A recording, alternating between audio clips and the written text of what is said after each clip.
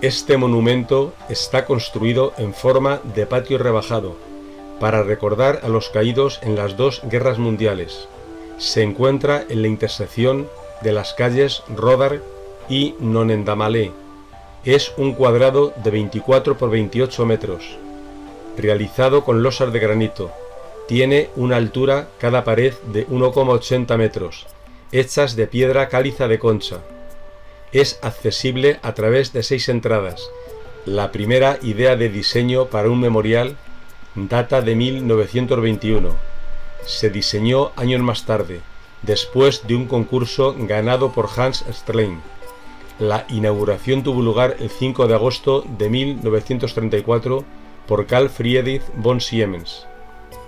En tres de las cuatro paredes figuran 118 placas de hierro fundido, con los nombres de los 2.989 muertos en la Primera Guerra Mundial.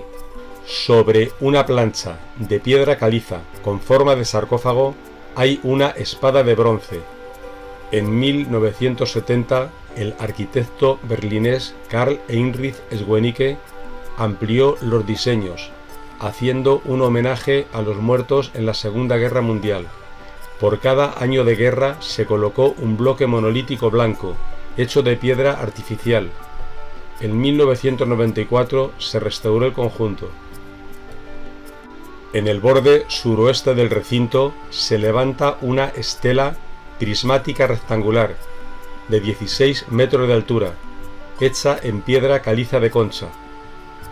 En la parte superior se encuentra un águila de 2,5 metros de altura y una envergadura de 3,30. La espada y el águila son obras de Joseph Wankerle.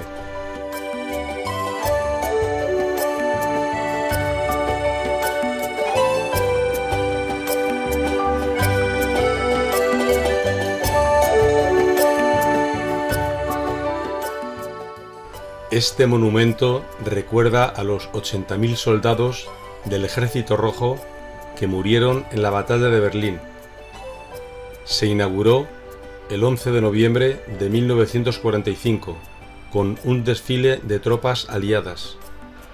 En el centro de una serie de columnas dispuestas en arco se levanta otra de mayor tamaño que sirve de base a un soldado capturado de una altura de 8 metros. El acceso al monumento está flanqueado por dos tanques y dos cañones que estaban en la batalla de Berlín. Detrás de las columnas se encuentran enterrados aproximadamente 2.500 soldados.